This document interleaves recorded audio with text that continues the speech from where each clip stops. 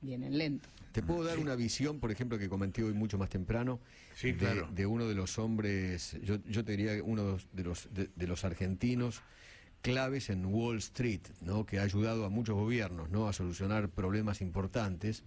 Eh, la última frase de, de- de su comentario es, sin medidas concretas, la luna de miel va a ser muy corta. Claro, está bien. Para mí es un resumen impecable. Pero todavía no dieron a conocer las medidas, o sea, el resto de las... Por ejemplo, ¿qué pasa con el gas? Y la, eh, Ah, no dijeron porque, claro, está en No. quilombo el secretario de Energía. Claro.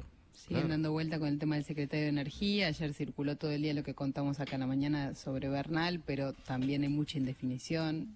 Al- No lo quieren, dicen ahí- que Darío Martínez tiene la valija armada, pero no lo dejan irse porque Claro, alguien tiene que no firmar. terminan de ponerse de acuerdo con quién sigue, ¿no? Claro. Eh, pero bueno, eh,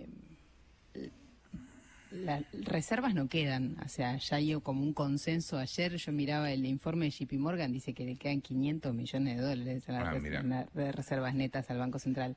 Marina del Polleto hace un informe que dice que le quedan reservas para 10 días al Banco Central a esta ¿Y velocidad. después qué hacen? ¿Venden el oro ahí en Libertad y Corriente?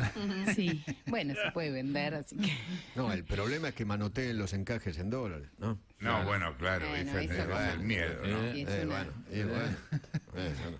Sí, vos decís con mucha seguridad eso, ¿no? Sí, sí, sí. No sé si eso no, qué sé yo.